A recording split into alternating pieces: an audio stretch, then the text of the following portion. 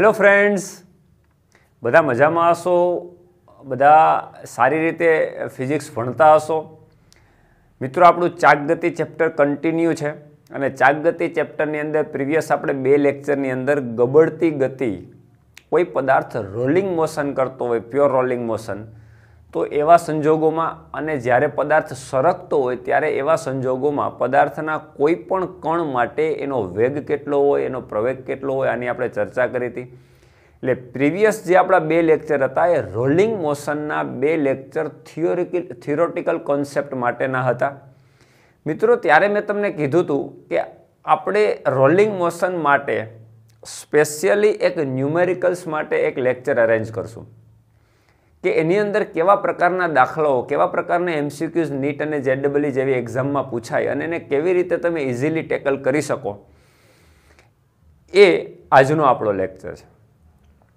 એટલે જે વિદ્યાર્થી મિત્રોએ રોલિંગ મોશનના મારા પહેલાં બે લેક્ચર ના જોયા હોય, એ પહેલાં જોઈ લે. અને મિત્રો, તમને બધાને ખ્યાલ છે કે ફિઝિક્સ એવો સબ્જેક્ટ છે કે જેની અંદર તમે થિયોરોટિકલ કોન્સેપ્ટ તમારા ક્લિયર ના હોય. ત્યાં સુધી તમે ન્યુમેરિકલની અંદર એન્ટર ના થઈ શકો અને ભૂલથી પણ એન્ટર થઈ ગયા તો આપણને ખબર નથી પડતી કે એમાં શું કહેવા માગે છે. એટલે પ્રશ્ન સમજતા પહેલાં તમારે કોન્સેપ્ટ ક્લિયર કરવા પડે. એટલે દોસ્તો, સૌથી પહેલાં બે લેક્ચર જોઈ લ્યો અને પછી આ લેક્ચરમાં એન્ટર થશો તો તમને આ લેક્ચર બહુ જ ઇન્ટરેસ્ટિંગ બનવાનો છે અને ન્યુમેરિકલ્સની અંદર તમને બહુ જ શીખવા મળવાનું છે. દોસ્તો, આપણને ખબર છે કે ફિઝિક્સની અંદર દાખલા તરીકે નીટ જેવી એક્ઝામ છે, તો એની અંદર ફોર્ટી ફાઇવ ક્વેશ્ચન હોય તેમાંથી લગભગ થર્ટી ફાઇવ ક્વેશ્ચન એવું વિચારીએ કે જે ન્યુમેરિકલ્સ હોય છે. કે જેની અંદર તમારે કેલ્ક્યુલેશન પ્રકારનું હોય, પછી એ શોર્ટ કેલ્ક્યુલેશન હોય, નાનું હોય, અથવા તો થોડું ઘણું મોટું કેલ્ક્યુલેશન પણ આવી શકે. પણ એની અંદર કેલ્ક્યુલેશન અનિવાર્ય હોય. તો આ પ્રકારના પ્રશ્નો જ્યારે તમારે ટેકલ કરવાના થતા હોય શોર્ટ ટાઈમમાં ત્યારે કેવી શોર્ટકટ ટ્રિક્સ હોય, કેવા પ્રકારના શોર્ટકટ લઈ શકાય કે જેથી ઝડપથી પ્રોબ્લેમ સોલ્વ કરી શકાય, આ બધી જ વાત આજે કરવાની છે. તો દોસ્તો, આજનો લેક્ચર તમારો ઇન્ટરેસ્ટિંગ બનવાનો છે, વ્યવસ્થિત રીતે તમારે જોવાનો છે. હું મારી રીતે અમુક પ્રોબ્લેમ્સ મૂકતો જાય અને એનું સોલ્યુશન તમને કરાવતો જાય, કેવા કેવા પ્રકારના ક્વેશ્ચન્સ પૂછી શકાય અને એને સોલ્વ કેવી રીતે કરી શકાય ઇઝીલી રાઈટ જે વિદ્યાર્થી મિત્રોએ ફિઝિક્સ ફાઇટર ચેનલ સબસ્ક્રાઇબ ના કરી હોય તો સબસ્ક્રાઇબ કરી દેજો બે લાઇકન દબાવજો, જેથી તમને નોટિફિકેશન મળે મારા લેક્ચરનું તો મિત્રો, સૌથી પહેલો એક પ્રોબ્લેમ લઈએ કે દાખલા તરીકે તમારી એક આવી એક સમક્ષિતિજ સપાટી ઉપર એક રિંગ ગબડે છે. પ્યોર રોલિંગ મોશન સમજો પ્યોર સરક્યા વિના ગબડે છે. ફાઇનલી છેલ્લે હું તમને કહીશ કે આ પ્રોબ્લેમનો સોર્સ મેં ક્યાંથી લીધો છે ને કેવી રીતે તો તમારે એ પણ રિફર કરવું હોય તો તમે કરી શકશો. દોસ્તો, એક આર ત્રિજ્યાની રિંગ છે. આર ત્રિજ્યાની રિંગ છે. અને એ સંક્ષિપ્ત સપાટી ઉપર ગબડે છે. પ્યોર રોલિંગ કરે છે. સરક્યા વિના ગબડે છે. તો તમારો ક્વેશ્ચન છે કે એની સૌથી ઉપરનો પોઈન્ટ એટલે આપણે કહી દઈએ પી જો હું આખો પ્રોબ્લેમ અથવા તો પ્રશ્ન લખતો નથી, હું પ્રશ્ન બોલું છું કે એક સરક્યા વિના રિંગ ગબડે છે અને આર ત્રિજ્યાની રિંગ છે ને સૌથી ઉપરનો પોઈન્ટ પી સૌથી ઉપરના પોઈન્ટ સૌથી ઉપરના પોઈન્ટની વક્રતા ત્રિજ્યા, ધારો કે આર કયો તો R is equal to what small R એણે શું કીધું કે જો રિંગ આ રીતે સરક્યા વિના ગબડતી હોય તો સૌથી ઉપરના પોઈન્ટની વક્રતા ત્રિજ્યા કેટલી? મિત્રો, રિંગની ત્રિજ્યા નહીં, કારણ કે રિંગની ત્રિજ્યા તો અહીંયા આપેલી છે ઓલરેડી તો આપણને એમ થાય કે આ વસ્તુ આમ ગબડતી હોય, તો આ કણ છે એ સતત ને સતત આ રીતે રિંગ ઉપર ગબડતો રહીએ તો એની ત્રિજ્યા કેટલી રહી આર ને આર રહી તો એની અંદર ઓપ્શનમાં આ રીતના ઓપ્શન મૂકેલા છે. એ ઓપ્શન છે આર છે, બી ઓપ્શન છે ટુ આર છે, સી ઓપ્શન છે થ્રી આર છે, ફોર ઓપ્શન છે ફોર આર છે.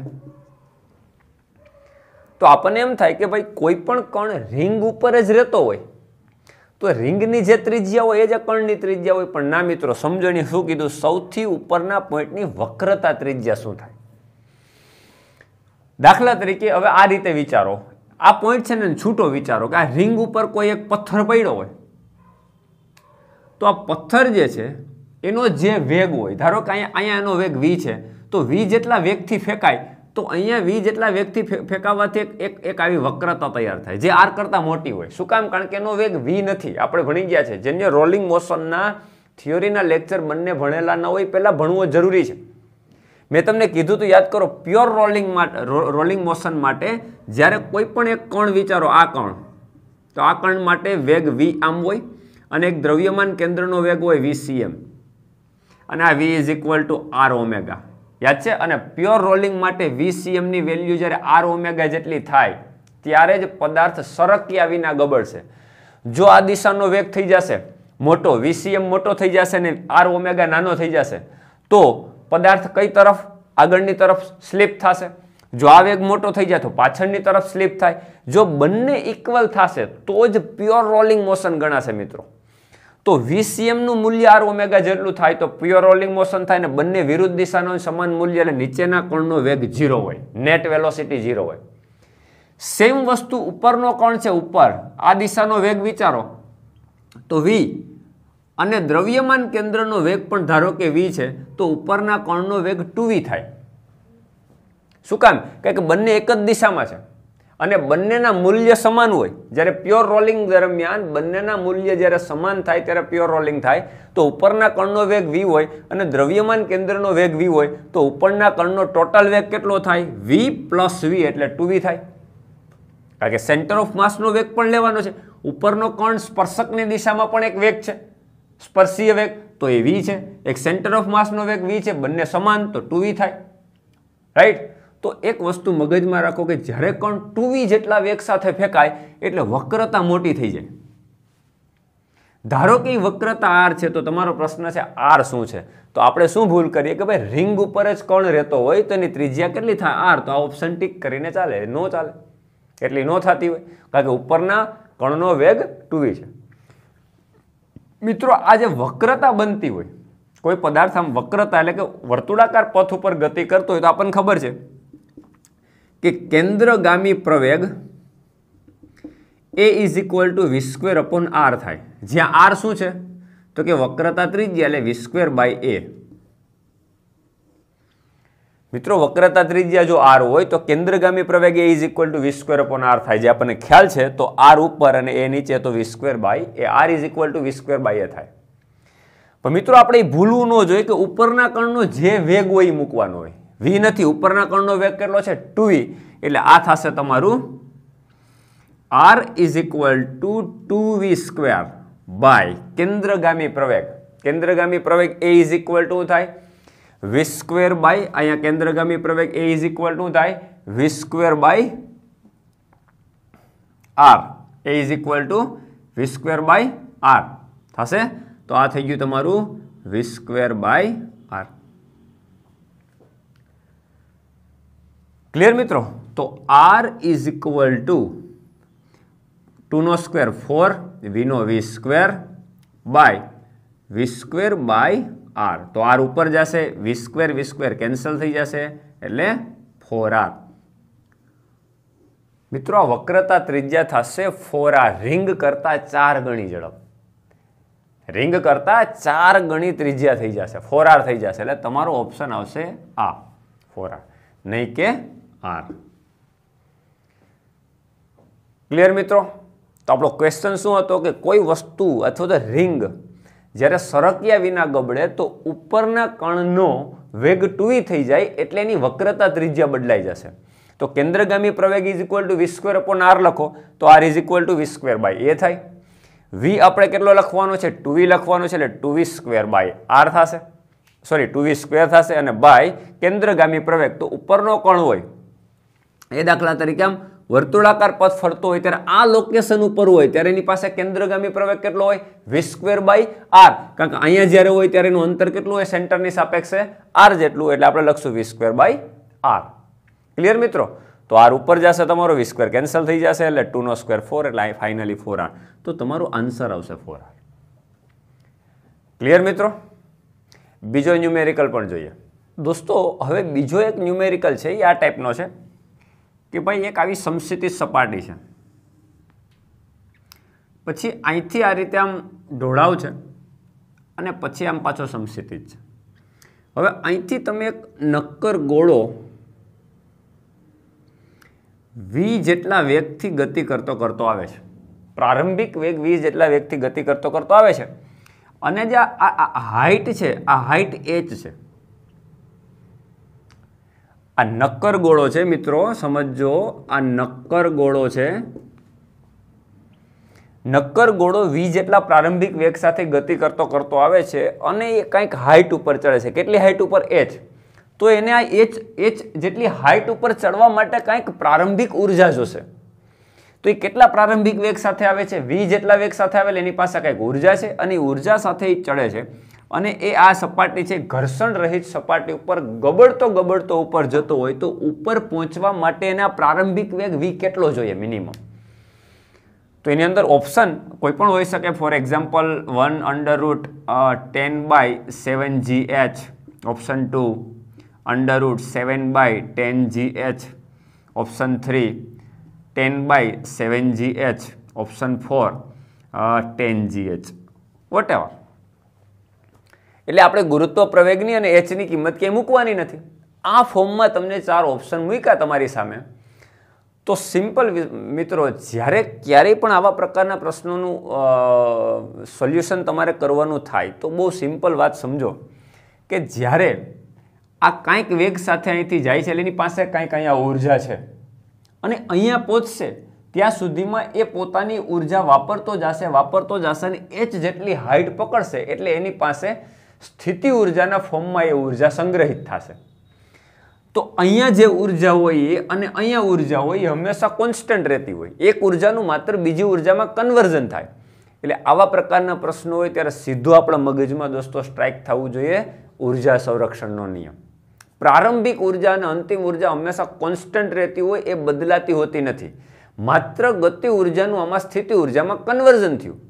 કુલ ઊર્જા કોન્સ્ટન્ટ રહે. તો અહીંયા એની પાસે કુલ ઊર્જા કેટલી? કારણ કે આ પદાર્થ છે, એ નીચે છે, લેવલથી. હવે એને એ ઊંચાઈએ ચડવું છે. મિત્રો, તેની પાસે સ્થિતિ ઊર્જા નથી, કાંઈક ગતિ ઊર્જા સાથે આવે. તો જ્યારે વસ્તુ ગબડતી ગબડતી આગળ જતી હોય, ત્યારે એની પાસે બે ગતિ ઊર્જા હોય. સ્થાનાંતરિત ગતિ ઊર્જા અને ચાક ગતિ ઊર્જા. એટલે કે one half m v square અને plus one half I omega square આપણને ખ્યાલ છે, આ તો ભણી ગયા છે ગબડતી ગતિમાં. બંને ગતિઓ આ ચાક ગતિ ઊર્જા, રેખી ગતિ ઊર્જા. એક કેમાં કન્વર્ટ થાય તો ઉપર જાય એટલે સ્થિતિ ઊર્જા એમ જી એચ જેટલી ઊંચાઈ એટલે એમ જી એચમાં કન્વર્ટ થાય. એટલે કુલ ઊર્જા, કારણ કે ઉપર તો આપણે એને સ્થિર કરી દેવો છે. ત્યાં એને ઊભો ગતિ નથી કરાવવો. આપણે એને માત્ર ઉપર પહોંચાડવો છે. એટલે મિનિમમ આટલી ઉર્જાની જરૂર પડે. તો અહીંયા તમારી પાસે ટોટલ એનર્જી છે એ સ્થિતિ ઉર્જામાં કન્વર્ટ થાય છે. ટોટલ ગતિ ઊર્જા છે, સ્થિતિ ઉર્જામાં કન્વર્ટ થાય. મિત્રો, હવે આપણે સાદુરૂપ આપીએ. તો શું થશે? One half m v square તમારું એમનમ plus one half I I એ જડત્વની ચાકમાત્રા છે અને નક્કર ગોળા માટે જડત્વની ચાકમાત્રા two by five m r square આપણે બધાને ખબર છે? Omega square omega is equal to v by r લખાય. તો આપણે લખી નાખીએ v square by r square is equal to m g h v is equal to r omega omega is equal to v by r થશે, પણ એનો square છે એટલે v square by r square clear મિત્રો? હવે જો one half m square plus ચલો, અહીંથી ટુ ટુ કેન્સલ જશે. અહીંથી r square r square cancel થશે. એટલે ઉપર બચશે m v square by five નીચે ફાઈવ ઉપર m v square is equal to m h મિત્રો, અહીં તમે જો ફાઇવ અને ટુ લસા નીકળશે એટલે ફાઇવ ટુ જા ટેન એટલે નીચે આવશે ટેન અહીંયા ફાઇવ નથી, ઉપર ફાઇવ એમ વી સ્ક્વેર અહીંયા ટુ નથી, એટલે two m v square five m v square plus two m v square એટલે સેવન એમ વી સ્ક્વેર એટલે seven by ટ્વે ten m v square is equal to m g h ten લસાવી ગયો અહીંયા ઉપર five વડે ગુણાશે એટલે ફાઈવ એમ વી square અહીંયા two ગુણાશે એટલે ટુ એમ વી સ્ક્વેર એટલે seven m v square by ten is equal to m g મિત્રો એમ એમ કેન્સલ થઈ જાય. આપણે વેગ જોઈએ છે એટલે વેગ v square is equal to v square is ten અહીં ગુણાઈ જાય સેવન નીચે જશે એટલે ten by seven g h so v is equal to under root ten by seven g h મિત્રો, આ સમજો, આ મિનિમમ વેલોસિટી આટલી તો જોઈએ. આના કરતાં વધુ આપશો તો વેગ? આના કરતાં વધુ આપશો તો શું થશે? આના કરતાં વધુ આપશો તોય ઉપર તો ચડવાનો છે, પણ આગળ જઈને દાખલા તરીકે ઉપર ચડી ગયો, આટલા વેગ. હજી તમે આના કરતાં વધુ એનર્જી આપી હોય, વધુ વેગ આપ્યો હોય તો શું થશે? આગળ ગબડવા માટે આ મિનિમમ વેલોસિટી છે ઓપ્શનમાં શું હોય? લઘુત્તમ વેગ. પ્રશ્ન શું હોય કે લઘુત્તમ વેગ કેટલો? ઓછામાં ઓછો કેટલો વેગ જોશે? આટલો તો જોશે આના કરતાં વધારે હશે તો ચાલશે. તો ઓપ્શન આવાય મૂકેલા હોય. Greater than or equal to, greater than equal to, greater આવું કંઈ પણ. તો આનો ખરેખર જવાબ શું થાય? Greater than or equal to આટલો મિનિમમ વેગ જોશે આના કરતાં વધુ વેગ હશે તો ઉપર તો ચડી જ જવાનો છે. તો ઉપર ચડ્યા પછી આમ સીધી સપાટી હશે તો ગબડવા માંડશે. વધારાની એની પાસે કંઈક ગતિ ઊર્જા બચી છે તો એનો ઉપયોગ કરશે. પણ મિનિમમ વેલોસિટી આટલી જોશે કેટલી? V is equal to under root ten by seven G H એટલે greater than or equal to ten by seven G H આપણું ઓપ્શન થાય. ઇક્વલ તો સાચું જ. વધુ ઊર્જા આપશો, તો પણ એ ઉપર તો ચડી જ જવાનું છે. એચ એચ જેટલી ઊંચાઈ તો પ્રાપ્ત કરી લેવાનો છે મિત્રો. એટલે v greater than or equal to under root ten by seven g તમારો આન્સર આવશે. ક્લિયર મિત્રો? તો આપણને એ ખબર પડી કે ઊર્જા સંરક્ષણનો નિયમનો કેવી રીતે ઉપયોગ કરવાનો છે. ક્લિયર બીજો નેક્સ્ટ ન્યુમેરિકલ જોઈએ. મિત્રો, હવે પછીનો જે ન્યુમેરિકલ છે, એની આકૃતિ મેં તમારી સામે મૂકી છે. દાખલાની અંદર આકૃતિ આપી દીધી છે. કે આ જે છે, એ સેન્ટર ઓફ માસનો વેગ, એટલે આ દિશામાં વેગ. વી છે. આવી એક રિંગ સરક્યા વિના ગબડે છે. તો આ બિંદુ ઓ છે, તો ઓની સાપેક્ષમાં પીની ઝડપ કેટલી? પ્રશ્નો શું છે? ઓની સાપેક્ષમાં, એટલે સપાટી નીચેની સપાટી છે, એની સાપેક્ષમાં પીની ઝડપ કેટલી હોય? મિત્રો, યાદ કરો, મેં તમને થિયરી કોન્સેપ્ટની અંદર આ વાત સમજાવી હતી કે ઉપરના કણનો વેગ જ્યારે સંપૂર્ણ ગબડતો પદાર્થ હોય ત્યારે ટુવી હોય, નીચેના કણનો વેગ ક્ષણિક ઝીરો થઈ જાય. આનો વેગ જે છે એ નીચે સ્પર્શકની દિશામાં એક એક દ્રવ્યમાન કેન્દ્રનો વેગ, બંને કાટખૂણે હોય. તો નેટ વેલોસિટી કેટલી થાય? બધી થિયરીમાં ચર્ચા કરી હતી. મિત્રો, અહીંયા પ્રશ્ન શું પૂછ્યો છે કે આ થીટા ખૂણે હોય તો પીની ઝડપ ઓની સાપેક્ષમાં કેટલી?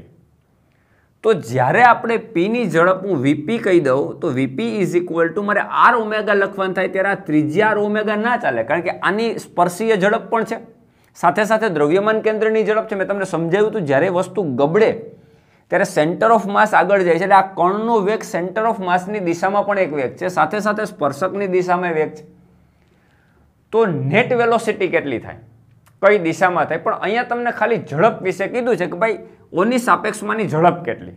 તો તમારે ઓને સંદર્ભ તરીકે ઉપાડીને અહીંયા ઝડપ મેળવવી છે. તો તમારે ખાલી કરવાનું શું છે? V p is equal to r omega v is equal to r omega પણ આર જે છે એ ઓની સાપેક્ષે લેવાનો છે સ્થાન સદિશા આ. એટલે ઓપી ઇન્ટુ ઓમેગા આ તમારા કેલ્ક્યુલેશનમાં આવે. સિમ્પલ આ કણની ઝડપ ઓની સાપેક્ષે શોધવાની છે. તો તમારે v p is equal to r omega આરની જગ્યા ઉપર ત્રિજ્યા નથી લેવાની, કારણ કે ઓની સાપેક્ષે તો ઓની સાપેક્ષે આનો વેગ શોધવાનો છે. એટલે તમારે તમારે મેળવવાનું છે ઓપી અને ગુણ્યા ઓમેગા પણ ઓપી કેમ મળશે? આ સમજો. આના બંને દિશાના વેગ થાય જો ઓપી આ દિશાનો વેગ છે. તો અહીંયા તમારા બે ઘટક મળે. એક એક્સ દિશાનો ઘટક મળે અને એક વાય દિશાનો ઘટક એ મળે. આ છે ને ઓપી તો એક્સ દિશાનો વેગ આ આટલું. તમારે ઓપી જોઈતું હોય, આ સ્થાન સદિશ જોતો હોય આર તો આટલું પણ અંતર મેળવવાનું છે આટલું પણ અંતર મેળવો છો. આ અંતર કઈ દિશાનું છે? એક્સ દિશાનું. આ કઈ દિશાનું? વાય તો તમે પરિણામી સ્થાનાંતર મળે. પરિણામી સ્થાનાંતર ઓપી જોતું હોય તો તમારે આ એક્સ દિશાનું સ્થાનાંતર અને વાય દિશાનું બંને મેળવવું પડે. મિત્રો, આ તો તમને કટ એન્ડ ક્લિયર દેખાય છે. થીટાની સામેની બાજુ, એટલે કર્ણનો કોસ ઘટક, કર્ણો તરીકે આર તો આરનો કોસ ઘટક સોરી સાઇન ઘટક. તો આ નીચેનો આર સાઇન થીટા થાય, ઉપરનો આર કોસ થીટા થાય. આ વસ્તુ થિયરીમાં સમજાવી જ દીધી છે. થીટાની સામેની બાજુ, એટલે એક્સ દિશાનો આ યામ ઓપીનો એક્સ દિશાનો યામ, એટલે આરનો સાઇન ઘટક થાય. એટલે મિત્રો, આ થઈ ગયું તમારું આર સાઇન થીટા એટલે ઓપી સ્થાન સદિશ મારે લખવું હોય તો અહીં સાઈડમાં તમને બતાવું. ઓપીનો સ્થાન સદિશ એટલે શું? તો કે r sine theta i cap કાકા એક્સ દિશાનું છે. એક્સ દિશાનું સ્થાનાંતર કેટલું થયું? આની સાપેક્ષમાં પી કણ કેટલો દૂર છે? પાછળ.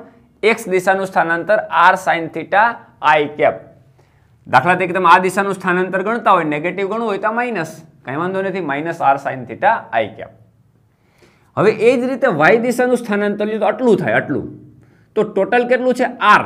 ટોટલ કેટલું છે? આર. એમાંથી ઉપલું માઇનસ કરવાનું. તો ઉપરનું કેટલું છે? R cos theta. કારણ કે આ આર સાઇન થીટા થાય, આર કોસ થીટા થાય.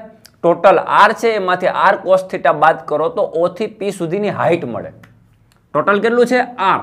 એમાંથી આર કોસ થીટા માઇનસ કરશો એટલે ઉપલી આ હાઇટ મળશે. પી પોઈન્ટ કેટલો ઊંચો છે એ મળશે. રાઈટ? એ તમારો માટે વાયામ એટલે કેટલો થયો? આરમાંથી આર કોસ થીટા માઇનસ કરો. એટલે પ્લસ પ્લસ કેટલું થશે? R minus r cos theta j cap. તો finally minus r sine theta i cap plus આ બંનેમાંથી આર કોમન આર કોમન કાઢીએ તો one minus cos theta into j cap. Is equal to ઓપીનો સ્થાન સદિશ થાય. તો દોસ્તો, આ ઓપીનું મૂલ્ય કેટલું થાય? આપણે ઝડપ જોઈએ. ઝડપનું મૂલ્ય જોઈએ ઓપી ગુણ્યા ઓમેગા જોઈએ. તો ઓપીનું જે મૂલ્ય છે કેટલું થાય? તો ઓપીનો માનાંક ઇઝ ઇક્વલ ટુ અંડર રૂટની અંદર. બંને ઘટકનો વર્ગ કરીને સરવાળો કરવો પડે. આપણને ખબર છે, એક આઈ કેપ છે, એક જે કેપ છે. તો r square sine square theta minus જે છે પ્લસ થઈ જશે વર્ક કરશો એટલે. R square sine square theta અને પ્લસ આર સ્ક્વેર અને વન માઇનસ કોસ થીટાનો પણ સ્ક્વેર. તો ફાઇનલી ઓપીનું મૂલ્ય is equal to under root r square sine square theta plus r square. મિત્રો, આને આમ લખી શકાય? વનનો square plus sorry minus two cos theta plus cos square theta આમ લખી શકાય ને? કૌંસ છૂટો પાડીએ તો one minus two cos theta અને પ્લસ કોસ સ્ક્વેર થીટા. તો O P is equal to, આ કેલ્ક્યુલેશન તમને કરી દઉં છું. પછી આ મગજમાં રાખવાનું હોય કે આ સ્થાન સદીશ થીટા એંગલ ઉપર હોય તો કેટલો મળે right okay under root r square sine square theta plus r square into one એટલે r square r square into two cos theta એટલે minus two cos theta into r square અને r square plus cos square theta sorry r square into cos square theta દોસ્તો તમે જો r square sine square theta plus r square cos square theta એ બંનેમાંથી R square common તો sine square plus cos square એટલે one આપણને ખબર છે તો આર સ્ક્વેર આ બંનેમાંથી કોમન નીકળે sine square plus cos square એટલે વન એટલે ખાલી આર સ્ક્વેર બચે આર સ્ક્વેર પ્લસ એક આર સ્ક્વેર છે એટલે ટુ આર સ્ક્વેર એટલે ઓપી કેટલો થયો under root two r square r square sine square plus r square cos square એટલે ખાલી આર સ્ક્વેર અને પ્લસ આર સ્ક્વેર છે એટલે two r square. Minus two cos theta into r square. Clear મિત્રો? હવે મિત્રો તમે જોજો, ટુ આર સ્ક્વેર આમાંથી કોમન નીકળે. આમાંથી ટુ આર સ્ક્વેર કોમન નીકળે તો વન માઇનસ કોસ થીટા બચે. અહીંયા લખું છું. Under root two r square common one minus cos theta. આમાંથી ટુ આર સ્ક્વેર કોમન એટલે વન આમાંથી ટુ આર સ્ક્વેર કોમન એટલે કોસ થીટા એટલે one minus cos theta okay under root two r square મિત્રો one minus cos theta તમને ત્રિકોણમિતિ સૂત્ર યાદ હોવા જોઈએ. One minus cos theta is equal to two sine square theta by two શું થાય? Two sine square theta by two two into two એટલે ફોર ફોર રૂટની બહાર જશે એટલે ટુ થઈ જશે. આર સ્ક્વેર રૂટની બહાર જશે એટલે આર થઈ જશે અને સાઇન સ્ક્વેર રૂટની બહાર જશે એટલે સાઇન થઈ જશે એટલે સાઇન થીટા બાય ટુ. મિત્રો, ફાઇનલી આપણો ઓપી સદીશ, ઓપીનું મૂલ્ય two r sine theta by two આવ્યું. અહીં મૂકી દઈએ. તો v p is equal to two r sine theta by two into omega. તેથી v p is equal to મિત્રો આર ઓમેગા એટલે કેટલું? ખાલી વી આર ઓમેગા એટલે દ્રવ્યમાન કેન્દ્રનો વેગ રાઈટ તો two v sine theta by two આ તમારો આન્સર ઓપ્શનમાં આવા ઓપ્શન હોય. Two v cos theta by two v cos theta by two sine theta by two sine square theta by two what તમારો ઓપ્શનની અંદર જ્યારે આ મૂકેલું હોય two v sine theta by two તમારો આન્સર થશે. Two r sine theta by two omega r omega એટલે વી થશે, તો ટુ વી અને સાઇન થીટા બાય ટુ. એટલે આ કણની ઝડપ કેટલી હશે? Two v sine theta by two જેટલી ઝડપ દોસ્તો, આ પ્રકારે તમે, આ પ્રકારના ક્વેશ્ચન જ્યારે તમને પૂછાય ત્યારે ટેકલ કરવા થોડાક તમને એમ લાગે કે ક્યાં, કયા એંગલથી વિચારવું, કયા પ્રશ્નની શરૂઆત ક્યાંથી કરવી. પણ મિત્રો, ખાસ ધ્યાન રાખો, જેમ તમે પ્રેક્ટિસ કરો ને એમ જ આ પ્રકારના ક્વેશ્ચન્સ આવડે. હવે તમને ખબર પડી ગઈ કે કોઈ પણ કણનો વેગ શોધવો હોય તો એક્સ ઘટક અને વાય ઘટક બંને લેવા પડે. કારણ કે તમે ઓની સાપેક્ષમાં જ્યારે શોધતા હોય વેગ, ત્યારે તમારે એક ઓપી લેવો પડે. ખાલી તમે આર ઓમેગા ના લખી શકો. વી ઇઝ ઇક્વલ ટુ તમે આર ઓમેગા લખો તો ના લખા કે આર તમારી ત્રિજ્યા છે. ત્રિજ્યા નથી લેવાની ઓની સાપેક્ષે લેવલ ઓપી સદીશ લેવો પડે. તો ઓપી ઇન્ટુ ઓમેગા થાય. તો ઓપી કેમ મેળવવો? તો કે પહેલાં એક્સ એમ મેળવો વાય એમ મેળવો એટલે ઓપીનો સદીશ મેળવો. પછી ઓપીનું મૂલ્ય મેળવવાનું. ઓપીનું મૂલ્ય મેળવો, એ મૂકો એટલે તમને આની ઝડપ મળશે. આ બહુ ઇમ્પોર્ટન્ટ કારણ કે જ્યારે વસ્તુ આગળ ગબડે છે, ત્યારે કણનું સ્થાનાંતર પાછળ થાય છે. જો અહીં માઇનસ આવે છે. સાથે ઉપર જાય છે. એટલે એક્સ દિશામાં પાછળ જાય છે ને વાય દિશામાં ઉપર જાય છે. એટલે એક ઘટક પોઝિટિવ આવશે, એક ઘટક નેગેટિવ આવશે. સમજાય? એટલે જ્યારે પણ હાઈટ પણ પકડે છે અને પાછળ પણ જાય છે. સેમ વસ્તુ, જ્યારે કોઈ કણ અહીંયા આવશે, તો હાઈટ પણ પકડે છે ને આગળ જાય છે. આગળ જશે ને આટલું સ્થાનાંતર એક્સ દિશામાં કરશે. તો એની ચિંતા ના કરો. તમારો આન્સર થીટા મૂકશો. એટલે ઓટોમેટિક સાઇન થીટા છે નાઇન્ટી કરતાં વધી જશે. સાઇન નેવુંની કિંમત વન પછી નાઇન્ટી કરતાં જેવો વધવા મળશે તો આપણને ખબર છે સાઇન નેગેટિવ થતો જાય. ઝીરો પાઈ બાય ટુ પછી પાઈ વન એટી ડિગ્રી કરતાં વધારે થશે. એટલે આખો આમ ફરીને ઉપર ગયો, પછી આગળ જશે. એવો સાઇન તમારો નેગેટિવ થતો જશે. એટલે એ તો થીટા મેનેજ કરી લેશે, એની ચિંતા ના કરો. કારણ કે તમારું જ્યારે વન એટી આ કણ અહીંથી આમ ઘૂમીને વન એટી ડિગ્રી ઘૂમે, પછી આગળ જશે ને, ત્યાં સુધી તો આગળ જવાનું નથી. તો વન એટી ડિગ્રી પછી ઓટોમેટિકલી સાઇન કેવો થઈ જાય? નેગેટિવ થતો જતો હોય. તો ઓટોમેટિકલી સાઇન જે છે નેગેટિવ થતો જશે, તમે ચિંતા ના કરો. અહીંયા તમારો ટોટલ એંગલ આ થીટા એ કિંમત મૂકો તમે અહીંયા. કહી ગયું? હા, અહીંયા. આ જે સાઇન થીટાની વેલ્યુ તમે મૂકો છો અહીંયા. R sine theta back side મૂકો ને તમે? તો આપણે અહીંયા પોઝિટિવ લખીએ છીએ, અહીંયા નેગેટિવ લખીએ છીએ. તો આપણને એમ થાય કે આપણને કેમ એક્ઝામમાં ખબર પડે કે પોઝિટિવ અહીંયા તમને ખબર પડે છે કે પાછળ જાય છે. અહીંયા તમને ખબર પડે કે આગળ જાય. આગળ જતો હોય તો પ્લસ લખવાનો થાય. આગળ જતો હોય તો પ્લસ લખવાનો થાય. તો એ ચિંતા કરવાની જરૂર નથી. મિત્રો, એ થીટા એનું એનું મેનેજ કરી લેશે, તમે જેટલો એંગલ મૂકશો એ પ્રમાણે. કારણ કે થીટા હંમેશા એ રીતે જ. કે પાઈ પછી એ થીટા ઓટોમેટિકલી કેવો થતો જાય? નેગેટિવ થતો જ જતો હોય છે. એટલે કોઈ રટણ ગોખવાના નથી સૂત્રો. હું તમને અન્ડરસ્ટેન્ડ કરાવું છું, સમજાવું છું. અહીંયા ગોખણપટ્ટી કરવા નથી કે આ સૂત્ર એવું એક્ઝામમાં ગોખી લીધું, અહીંયા થીટાની કિંમત મૂકી દીધી. જસ્ટ તમારા કોન્સેપ્ટ સમજવું એ જરૂરી છે કે કોઈ પણ કણની વેલોસિટી મેળવવી તો કેમ મેળવવી? પર્ટિક્યુલર આ પોઈન્ટની મેળવવી તો ઇઝી છે, આ પોઈન્ટની મેળવવી તો ઇઝી છે, આ પોઈન્ટની મેળવવી તો ઇઝી છે, અને આ પોઈન્ટની મેળવવી વચ્ચેના પોઈન્ટની વેલોસિટી કેવી રીતે મેળવવી? એ ઇમ્પોર્ટન્ટ છે. જે થીટા એંગલ ઉપર પડેલા હોય. ક્લિયર મિત્રો? બીજી ક્વેરી જોઈએ. દોસ્તો, હવે ગબડતી ગતિ માટે એક બીજો ન્યુમેરિકલ તમારી સામે મૂક્યો. એક નક્કર ગોળો છે. આ પદાર્થ કેવો છે? નક્કર ગોળો છે. એટલે આ સ્પષ્ટ કરવું જરૂરી છે. રિંગ છે, ગોળો છે, તકતી છે, નક્કર ગોળો છે. એના સેન્ટર ઓફ માસ ઉપર એક્ઝેક્ટ હાઇટથી સમસિતિ સપાટીથી એક્ઝેક્ટ સેન્ટર ઓફ માસ જે બને છે એનાથી સાત ન્યૂટન જેટલું ફોર્સ લગાડવામાં આવે. અને સપાટીનો ઘર્ષણાંક છે એ ઝીરો પોઈન્ટ વન છે, આવી ઘર્ષણવાળી સપાટી છે. અને આ ગોળાનું દસ કેજી જેટલું દળ છે. તો ઘર્ષણ બળ શોધો. એફ કેટલો થાય? મિત્રો નોર્મલી આપણે ઘર્ષણ બળ મેળવવું હોય ત્યારે આપણે શું કરીએ? તો નેટ ફોર્સ લઈએ. કે ટોટલ ઉપર જે બળ લાગે સાત ન્યૂટન, સામે વિરુદ્ધ દિશામાં ઘર્ષણ બળ લાગે, એટલો પ્રવેગ ઉત્પન્ન થતો હોય. તો પ્રવેગ અહીંયા ઉત્પન્ન થાય છે, પણ જ્યારે તમે વસ્તુ ગબડતી ગતિ, જ્યારે સેવન ન્યૂટન ફોર્સ લાગે અને જ્યારે વસ્તુ ગબડતી હોય ઓલું હોય કે તમે નોર્મલી આ રીતે હોય કે ભાઈ એવો બ્લોક છે, તો સીધું તમે આમ લગાવો, તો આ તો આ બ્લોક સિમ્પલી સ્લીપ થતો હોય. એ સરકતો આગળ વધતો હોય. અહીંયા એ વાત નથી અહીં વસ્તુ ગબડવાનું સ્ટાર્ટ કરશે. અને સાત ન્યૂટન બળની અસર હેઠળ ગબડતો હોય તો ઘર્ષણ કેટલું લાગે એ તમને પૂછ્યું છે. તો મિત્રો સમજો ફોર્સ ક્યાં લગાડો ને એ બહુ મહત્વનું ઘણી વખત તમે ફોર્સ અહીં ઉપર અહીંથી ને એચ જેટલી હાઇટ ઉપર અહીંયા ફોર્સ લગાડો તો પણ ગબડશે, અહીં લગાડો તોય ગબડે, અહીં લગાડો તો ગબડે. પણ ડિપેન્ડ તમે કેટલું ફોર્સ લગાડો છો એ પ્રમાણે ગબડશે ને એ પ્રમાણમાં ઘર્ષણ જનરેટ થશે. તો અહીંયા તમને પ્યોર લોકેશન આપી દીધું છે કે સેન્ટર ઉપર જ એક્ઝેક્ટ સાત ન્યૂટનનું બળ લગાડવામાં આવે તો ઘર્ષણ બળ કેટલું થાય? દોસ્તો, સમજવા જેવો પ્રશ્ન છે. નોર્મલી આપણે પ્રવેગ શોધવો હોય, તો રેખીય પ્રવેગ એ ઇઝ ઇક્વલ ટુ કેમ મેળવીએ?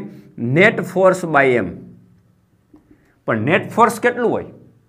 જેટલું સાત ન્યૂટન બળ લગાડો, સામે વિરુદ્ધ દિશામાં ઘર્ષણ બળ લાગે, એટલે આ એફ થાય, તો seven minus f by m તો seven minus f by m m એટલે ટેન કેજી તો a is equal to seven minus f by ten થાય.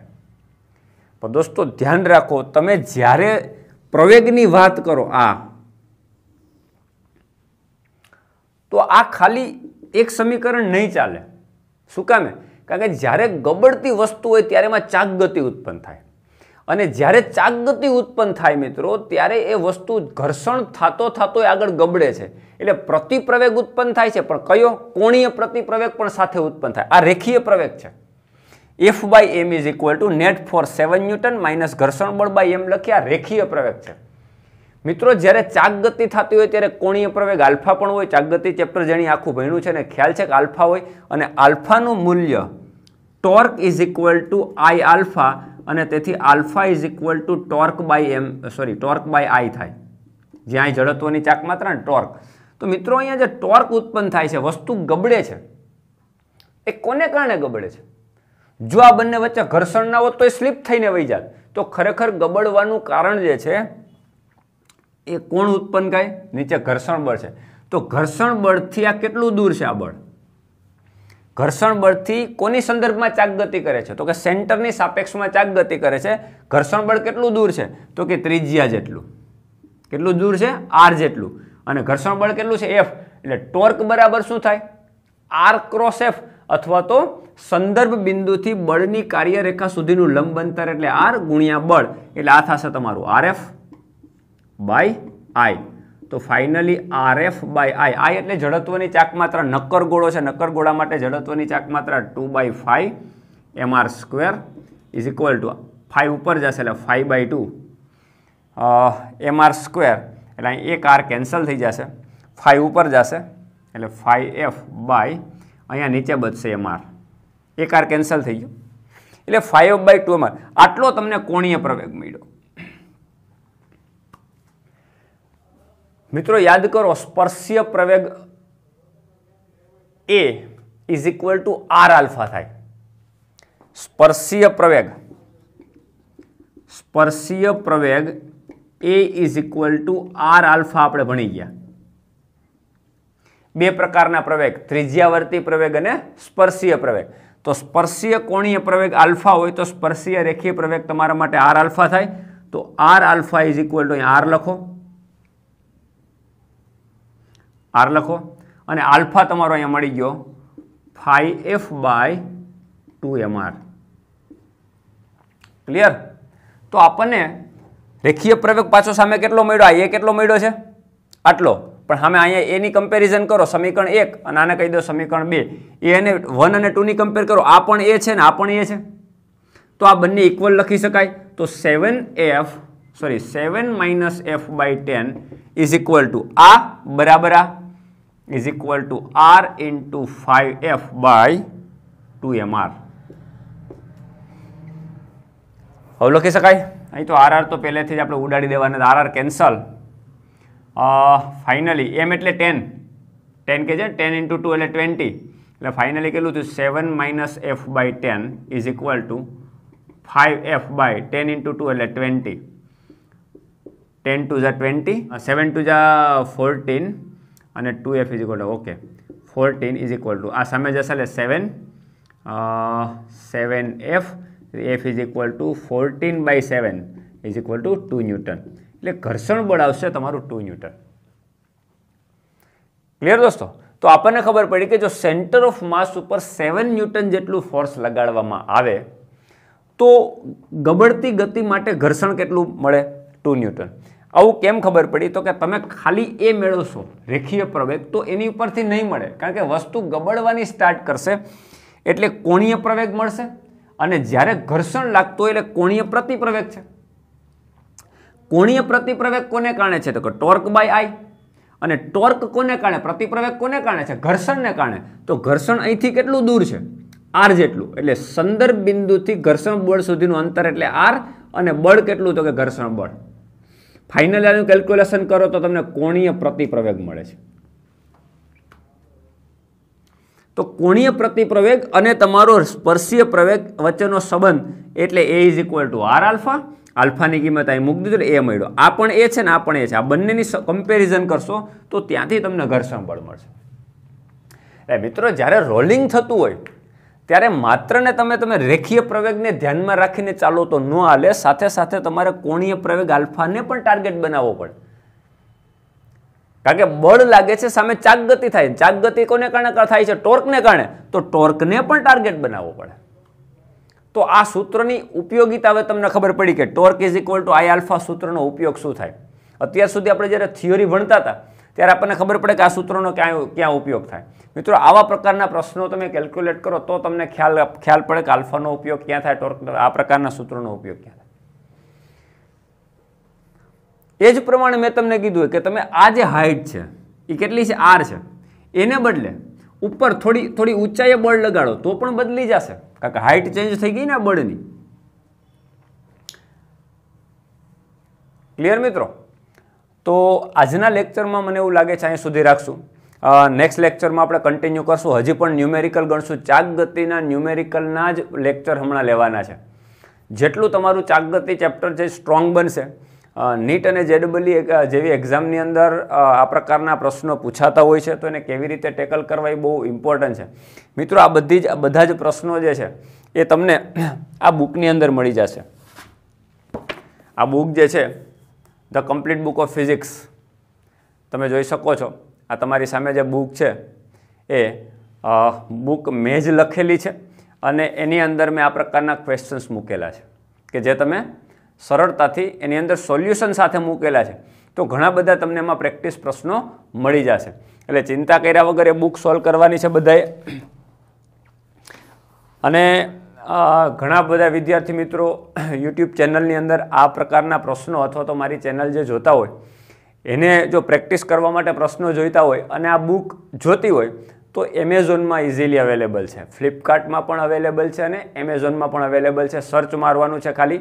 નીટ ગુજરાતી બુક અથવા તો જે ડબલઈ ગુજરાતીમાં બુક ગુજરાતી બુક આવું કંઈ પણ સર્ચ મારશો, એટલે આ ટાઇટલવાળું પેજ તમને આવી જશે. The complete book of physics આ બુકનું નામ છે the complete book of physics complete Gujarati મીડિયમના બાળકો માટે સ્પેશિયલી ડિઝાઇન કરેલી છે.